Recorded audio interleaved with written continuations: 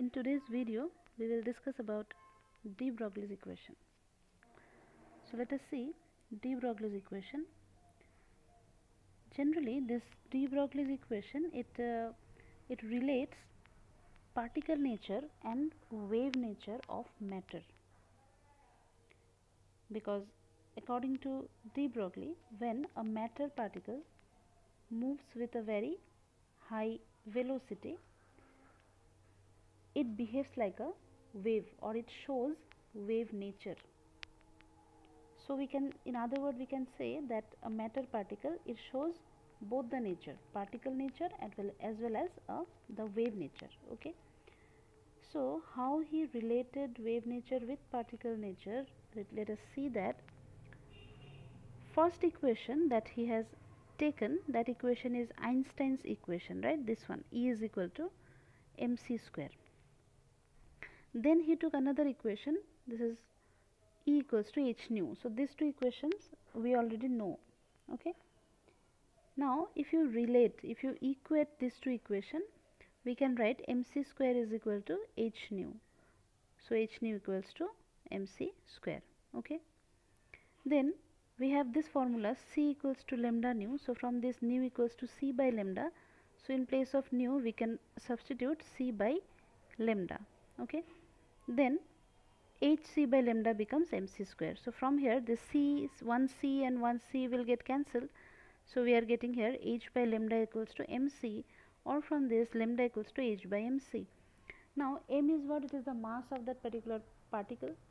C is actually it is the velocity of light but we are discussing about the particle. So here we have to take the velocity of the particle not the velocity of light.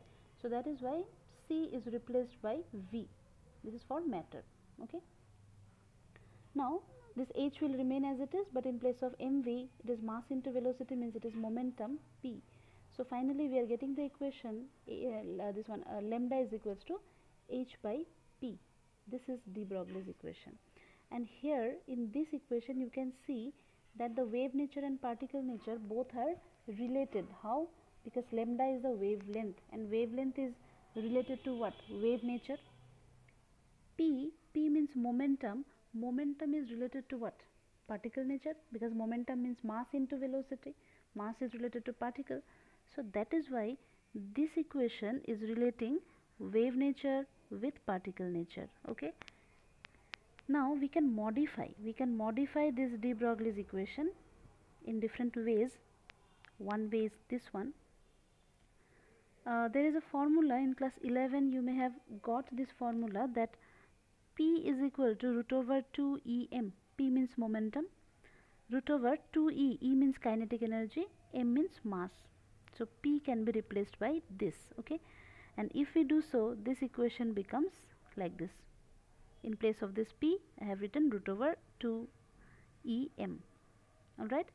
Now this E is kinetic energy so this is one equation. Again we can replace this E by EV what is EV spatially spatially here I have written E. E means it is the charge of electron. Okay. Or charge of proton. So suppose if E equals to EV and V means what? It is the potential. In place of capital E we can substitute E into V. So small e we are writing for electron or proton but for other particle in place of small e what we will write? We will write only Q. Q means charge of that particular particle. Alright? Okay? Because how it came? You know this one that E means it is kinetic energy or work done suppose. And we know work done means what? It is Q into V. This formula you got in uh, chapter 2 probably. W equals to QV so Q means charge. Here I am considering electron or proton so that is why E and V is the potential which is V right? So this is this is also okay just a second. Okay so uh, this is another equation right? This one. Then again if specifically we take electron then certain things will be constant. Say for example E is a constant M is a constant. E is the charge of electron M is the mass of electron H is another constant Planck's constant. So if we substitute all these three values we will get a constant number and that number uh, comes as 12.27 angstrom. 12.27 angstrom okay? And apart from this known terms only one unknown term will be there that is capital V. So here we will write root over V. So this is another formula for lambda for wavelength. And remember that this formula we have written only for electron because here we have considered mass of electron mass of electron and charge of electron okay? This formula is not applicable for other for other particles. For other particle we have this formula we have this formula we have this formula but there this E you have to replace by Q for other particles okay?